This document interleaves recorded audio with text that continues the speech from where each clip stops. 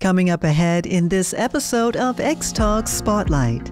Trials are typically designed to evaluate pre specified outcomes in the patient population. That means insight is limited to the data collected within the boundaries of the protocol. Uh, but linked data sets can really extend researchers' insight into outcomes beyond the trial protocol via passive data collection. And that can illuminate different treatment outcomes and benefits that weren't initially included in the trial that may otherwise remain undetected.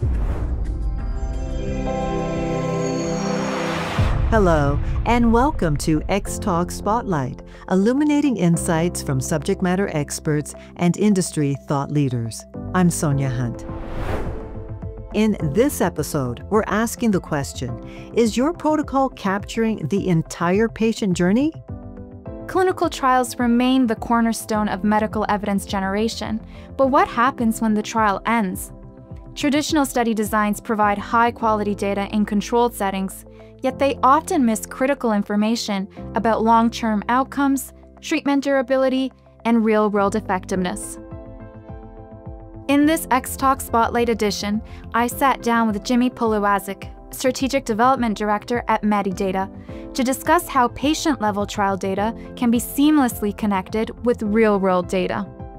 This innovation creates an enriched view of the patient's healthcare journey, including activity from before, during, and long after a study to illuminate disease progression, healthcare resource use, and unexpected treatment responses. Jimmy also explained how this approach helps sponsors generate deeper insights, reduce trial burden, and support regulatory and payer strategies, all while preserving privacy. Thank you for taking the time for this spotlight interview, Jimmy. Yeah, thank you for having me. I'm looking forward to the discussion. It's a really exciting space that's evolving quickly. So, looking forward to chatting about it. So, to start us off, why do you think traditional clinical trials often fall short in capturing the whole patient journey? And how can this limitation be addressed? We all know that clinical trials have long been the standard for gauging the safety and efficacy of a therapy but they really only represent a snapshot of a limited time frame during a trial participant's life. And because trials are defined by highly specific protocols, stringent eligibility criteria, and predefined endpoints, that snapshot is taken under rigid and controlled conditions. But an individual's healthcare journey, when looked at more holistically, is composed of a variety of diverse data streams that are generated as they interact with the routine care system. And this real world data that's generated is ubiquitous. It can be the medical history and diagnosis information that's found in electronic uh, health records and the prescription fill information found in pharmacy claims, all the way to newer data sources, such as those generated from wearable technology. This data is often fragmented and scattered across various systems, and that results in significant interoperability challenges. But when linked together, these data types can provide really valuable insight into the patient's longitudinal healthcare journey. So, before, during, and after their participation in the clinical trial the concept of linking clinical trials to world data is not new. Uh, tokenization has become a little bit of a buzzword recently, and the concept of privacy preserving record linkage has been explored for decades via identified workflows with data sets such as Medicare. But the number of studies in which real world evidence has been leveraged to uh, passively generate data has increased drastically over the past decade, especially since the COVID 19 pandemic. We've seen an explosion of commercial pharmaceutical organizations as well as medical device and diagnostic sponsors really leveraging record linkage to supplement their clinical programs with real world data. Now, Jimmy, what types of insights can sponsors gain from linking real world data to clinical trial data that wouldn't otherwise be possible? It really comes down to that comprehensive longitudinal view of the uh, participant's total healthcare journey, again, before, during, and after their participation in the trial. So, for example, a researcher could leverage linked data from before the trial in order to gain a deeper understanding of a participant's historical diagnoses. And that could let them identify comorbidities that weren't initially screened for that could explain outcome differences in different patient subgroups. Uh, during the trial, linked claims data could be used to view hospitalizations that may impact outcomes. And then after the trial, one could analyze disease progression, whether trial patients are changing treatments, uh, and more. There was actually recently a scoping review authored by several of my Medidata colleagues that looked at over 70 trials that linked clinical trial data to real world data, all with varying applications. Um, it's called the linkage of clinical trial data to routinely collected data sources, and that could be found on the JAMA network. So I would definitely suggest anyone look that up if they want to see just how many applications there are. Um, but there are three prominent ones that we commonly discuss with sponsors who are really exploring doing this. I'd say the first is the ability to track long term safety and effectiveness outcomes. So insight into the uh, clinical cohort is really limited once the trial concludes. And then keeping up with those patients long term can be burdensome and expensive. But by tapping into routinely collected real world data, sponsors can really gain deeper insight into long term outcomes while also reducing follow up burden. Another application is the ability to quantify healthcare resource utilization. So these variables are really crucial um, and they're needed to support payer and provider discussions, but they're rarely captured in clinical trials. And that often means sponsors have to wait uh, years for rural data to accumulate after commercialization. But these linked clinical trial to world data sets can really enable researchers to immediately investigate the utilization and the cost data that appears in world data from participants of the trial. And what that can do is bring greater insight into the true costs and burdens that are associated with inpatient and outpatient activities, as well as prescribing patterns that occur before, during, and after the trial. And then the third use case I'd highlight is the ability to generate additional evidence for label expansions. Um, so again, trials are typically designed to evaluate pre-specified outcomes in the patient population. That means insight is limited to the data collected within the boundaries of the protocol. Uh, but linked data sets can really extend researchers' insight into outcomes beyond the trial protocol via passive data collection. And that can illuminate different treatment outcomes and benefits that weren't initially included in the trial that may otherwise remain undetected. So I think in summary, uh, insights from linked data. They're almost limitless in application, but those are three key ones that we typically highlight to sponsors. Now, you mentioned follow up burden. Could you share how common challenges, such as patients being lost to follow up, could be mitigated? That's a great question. Uh, losing participants in the follow up process obviously can have significant um, uh, downstream evidence burden on the trial itself. Um, that can cause sponsors to extend recruitment efforts, and then too many lost patients can also be a significant detriment to the trial itself.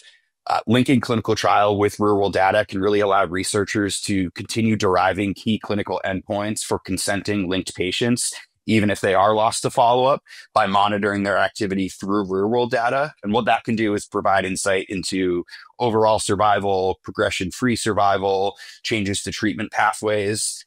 It can also help researchers understand why that participant dropped out of the trial in the first place. And that can be really useful in optimizing study design and also preparing for regulatory conversations. So all of this can be done through the monitoring of that world data that's generated as that participant moves through the routine care system, all without having them come back in for follow-up appointments. So I think the reduction in burden is really important there. And Jimmy, researchers have had a tough time scaling their data linkage initiatives. Could you explain how a Medidata link helps with this? For instance, what makes its integration into existing workflows unique or efficient for sponsors? Medidata Link offers a centralized approach for sponsors to complete really the foundational steps that are needed to link trial data with real world data. Our core design principle with Link was flexibility because the benefits of trial linkage are really applicable across therapeutic areas. It was really critical to ensure that the solution was able to fit seamlessly into trials of different uh, designs. And that's been hugely beneficial for sponsors, particularly those that are looking to scale their linkage initiatives across their portfolios and make rollout as efficient as possible. So the workflow really begins with the collection and management of the consent and all the personal information that's needed to link trial participants.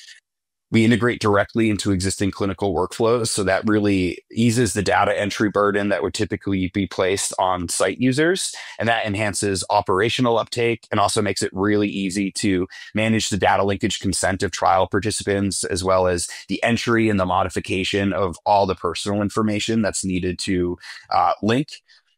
The platform is also accessed via single sign on, the same way site users are logging into their ECRF if they're using Rave and the UI is really straightforward and familiar to what they're already working with.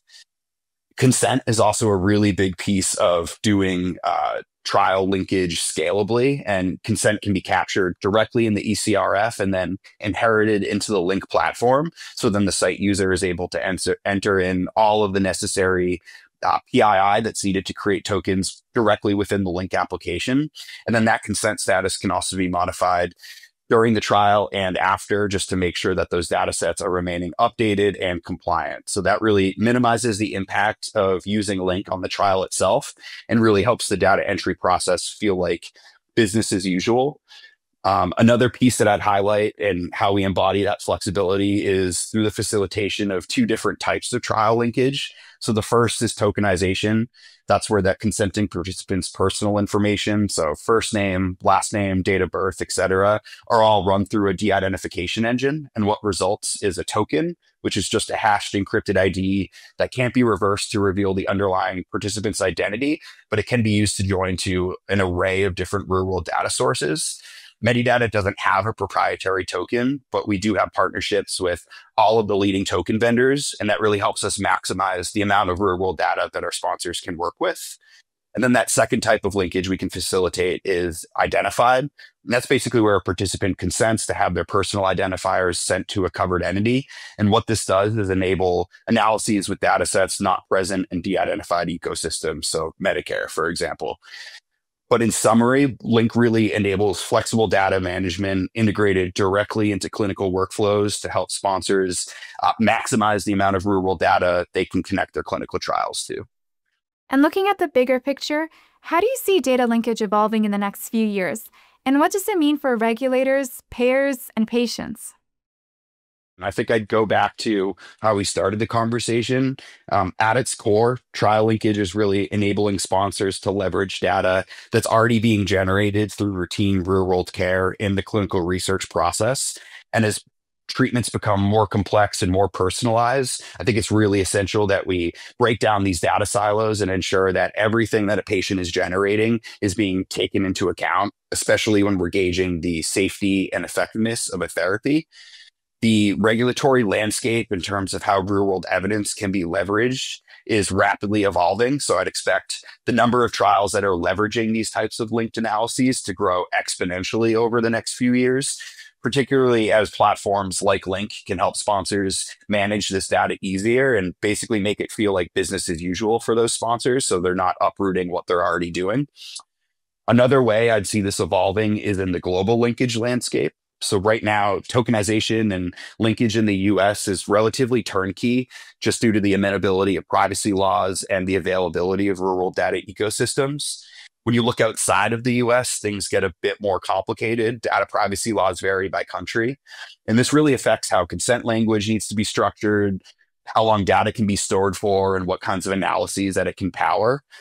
Real world data also really varies by country, although there's significant historical precedent for doing some of those identified linkage analyses that I mentioned earlier. And that's especially due to the prominence of single payer systems throughout the globe.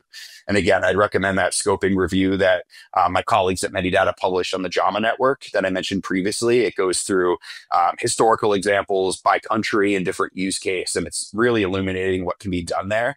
But overall, I think the sky's the limit with trial linkage, and I believe it will become more integrated into routine clinical research just as time goes on. Well, thank you very much, Jimmy, for speaking with us today. We really appreciate your time and insights. Yeah, thank you again for having me. And I'd encourage anyone who's interested in the subject to feel free to reach out on LinkedIn. Um, always happy to chat about it. Thanks again. We look forward to learning more about Medidata's work in connecting clinical trial data with real world data to create a more complete view of the patient journey. Thank you all for joining us for this Xtalks Spotlight feature. We hope you enjoyed the discussion.